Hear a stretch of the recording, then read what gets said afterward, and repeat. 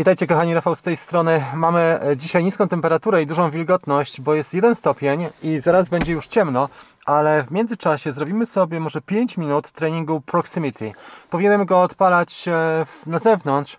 E, latałem przed chwilą na zewnątrz i mi jest kurczę bardzo zimno, więc sprawdziłem jak wygląda zasięg, jeżeli chodzi o drona i wizję i wszystko jest gitara, jest pełen zasięg, więc mogę spokojnie latać z, z samochodu.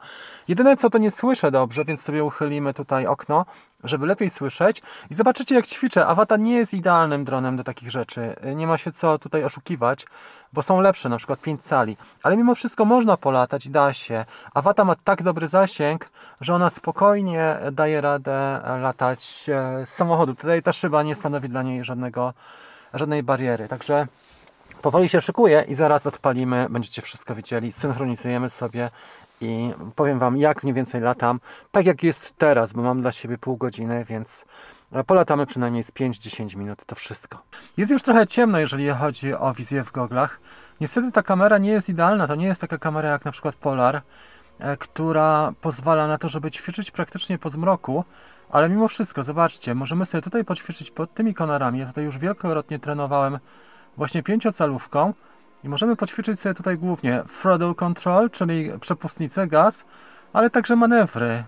Można robić to w sposób taki, że to są łatwiejsze te manewry, tak jak te, albo bardziej zaawansowane. My dzisiaj latamy z rozebraną kamerą GoPro, więc myślę, że nie ma też sensu robić bardzo manewrów ryzykownych, ze względu na fakt, że taka kraksa to się zdarza tutaj jeden raz i trzeba później mocno lizać rany a to jest kamera, która jest warta około 2000 i jest wrażliwa na takie rzeczy. Także latam sobie spokojnie z dużym zapasem, ale jak widać da się poćwiczyć w realu. Oczywiście jest inaczej niż gdybym był tam bliżej, ale mimo wszystko jest w porządku. W tej chwili konie wszystkie są w innym miejscu. My jesteśmy dzisiaj na jeździe i tu można pięknie poćwiczyć. Po, polecimy sobie do drzewa, wzdłuż ogrodzenia i zaraz tutaj wrócę na kolejne manewry. E, no niestety, dni są e, bardzo krótkie, ale to nie szkodzi. Można coś zrobić jak się chce. Można też wieczorne e, uskutecznić jak najbardziej loty. Ja pamiętam, że w zeszłym roku bardzo dużo latałem dronem, który nazywa się Cinelog i to był 25. On ma właśnie kamerę Polar i po zmroku świetnie się latało, szczególnie w takich miejscach, gdzie jest więcej światła, na przykład ozdoby świąteczne, które niedługo będziemy mieli super się lata w takich okolicznościach. Dzisiejszy trening jest po to, żeby mieć e, dobre wyczucie. Jak widzicie, samo się to wszystko nie robi, tylko poćwiczyć trzeba trochę e, w tygodniu, przynajmniej kilka lotów zrobić, żeby mieć dobre wyczucie i później latać na centymetry i właśnie pewnie latać w niektóre miejsca odważnie. Chyba, że lata się przy rzece, to wtedy wiadomo, że jest inaczej. Staram się też na dwie strony robić skręty. E, wiele, na wielu moich filmach widać, że robię skręt tylko w jedną stronę, ale uważam, że na dwie strony czuję się e, lepiej, dobrze. E, I tu, i tu. I czy na prawo, czy na lewo. Oczywiście Cinewoop to nie jest idealny, Avata nie jest idealnym dronem, bo pięciocalowy byłby o, o niebo lepszy, ze względu na to, że wiatr na niego tak nie działa. Natomiast mamy dzisiaj to, co mamy i Avata jest dobra ze względu na właśnie choćby zasięg. Tam było blisko, ale da, dałem radę spokojnie. Dobra, przejdziemy sobie jeszcze tutaj koło tego drzewa i lecimy znowu w dół. Trochę większy zapas. Płynnie wchodzimy pod drzewko. Zasięg jest cały czas idealnie. Poszło. Dobra, i teraz co, co bym chciał powiedzieć? Tego typu treningi, jak się zrobi takich 10 treningów FPV, to jest bardzo dobre wyczucie. Ja latam cały czas w trybie manualnym tylko i wyłącznie. Nie latam w żadnych trybach, które mnie stabilizują, więc wszystko zależy od tego, e, jak e, poruszam drążkami bezpośrednio żadnej stabilizacji. A teraz troszkę za szybko lecę, mam wrażenie, ale mimo wszystko jestem w stanie tutaj wyrobić. To wygląda ok, poprawnie. Tak jak powiedziałem, pod kątem może ujęć to nie jest szał, ale pod kątem precyzji i kontaktu e, z przeszkodami e, podczas normalnego lotu, nie na symulatorze, to jest bezcenny trening. Także on na pewno inaczej jest odbierany przez Was, jeżeli tylko oglądacie, a inaczej jak się ćwiczy i jeżeli ktoś ma watę, to warto polatać. Ta kamera nie jest idealna, tak jak powiedziałem, ona jest dosyć ciemna, już widzę dosyć spore yy, śnieżenie, właśnie o tej porze, pomimo że jest godzina mniej więcej 15, może 10, 20, ale dajemy radę i te treningi staram się uskuteczniać tak często, jak tylko jestem w stanie. A tutaj to moje odkrycie, że mogę spokojnie sobie siedzieć w samochodzie, nie muszę marznąć, bo dzisiaj jest wiatr, duża wilgotność i niska temperatura. Są trzy czynniki, które ograniczają.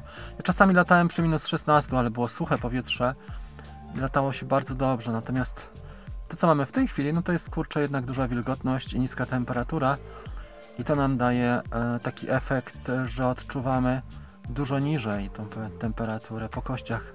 Daje. Muszę się też cieplej, cieplej ubierać i zabierać sobie już spodnie takie bardziej do wypraw górskich, a nie jeansy zwykłe, bo mnie momentalnie przewiewa. Latałem na zewnątrz 3 minuty i miałem i ręce bardzo zmarznięte i właśnie kurczę, e, nogi też czułem, że zaraz się przeziębię, dlatego wróciłem.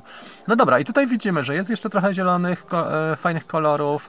Tu widać dużą halę e, do treningów, skoków głównie. Dobra, zawrócimy sobie tu wzdłuż ogrodzenia. Możemy polecieć na drugą stronę ogrodzenia. I lata się całkiem sympatycznie, jak widać. Nie ma jakichś specjalnych przeszkód w tym, żeby polatać też nawet z auta. Myślałem, że zasięg. Jedyne, co to mi, czego mi brakuje, to takiej słuchawki, gdzie bym słyszał silniki, jak Mr. Steel ma. Dobra, tu nawet wyciągnąłem z tego. Myślałem, że Awata nie będzie miała tyle mocy ale ona się dobrze sprawuje. Przy tych rejtach, przy tych ustawieniach, które zrobiłem, ja bym Wam gdzieś opisał te ustawienia, w poprzednich odcinkach opisywałem, nawet chyba w recenzji, to ona naprawdę świetnie mi lata. Tak jak e, mniej więcej czuję z Lineupy e, te trójki, te lżejsze, czyli na przykład e, Pawo 30 albo Synologa właśnie 25, to je czuję dość ładnie na 10 cm. Tutaj ta precyzja mi się powoli wyrabia. Musiałem dojrzeć do tych ustawień.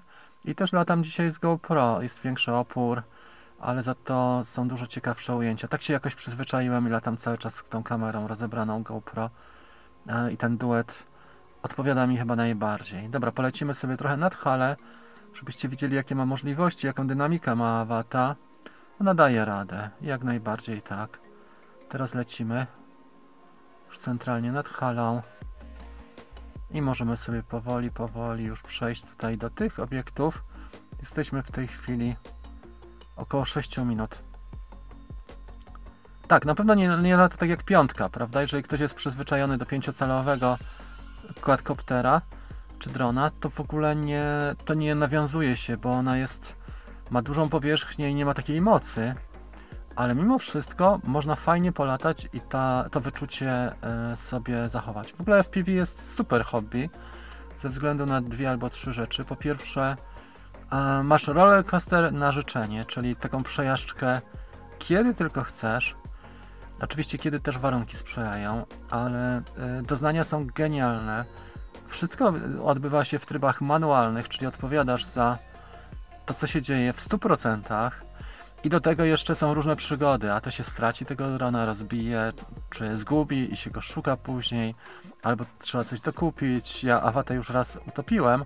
Co prawda ten DJI Care, on ogranicza nam te elementy przygody i ryzyka, bo e, przewidywalne są e, te rezultaty, czyli trzeba wydać 40 euro i nam przesyłają nową dwa razy w ciągu roku, czy 50 euro.